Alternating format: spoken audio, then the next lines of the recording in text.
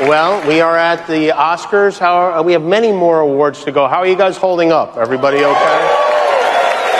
Yeah, you're hanging in there? I put food under your seats. I don't know if you noticed it, but all right. This point in the show makes you miss the slapping a little, right?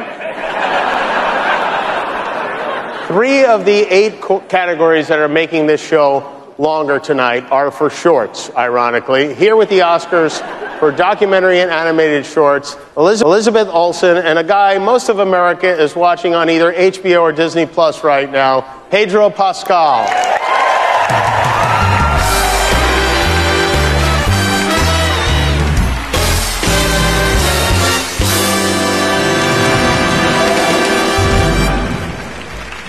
Rather than shy away from a challenge, the filmmakers in these next categories have embraced it, presenting stories in a limited time frame.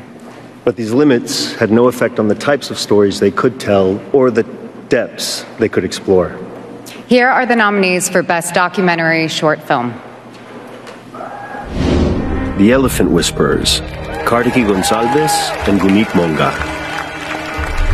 Haul Out, Evgenia Arbugaeva and Maxim Arbugaev. How do you measure a year? Jay Rosenblatt. Measure her, measure a year. The Martha Mitchell Effect, Anne Alvergue and Beth Levison. Stranger at the Gate, Joshua Seftel and Conall Jones.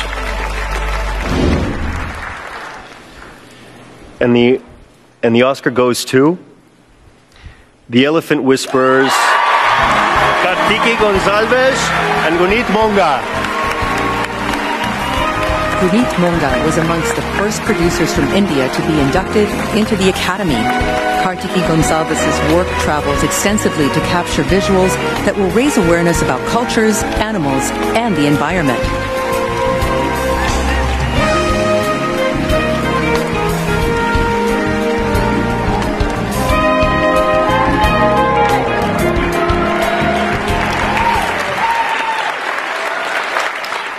Stand here today to speak for the sacred bond between us and our natural world, for the respect of indigenous communities, and empathy towards other living beings we share our space with, and finally, for coexistence.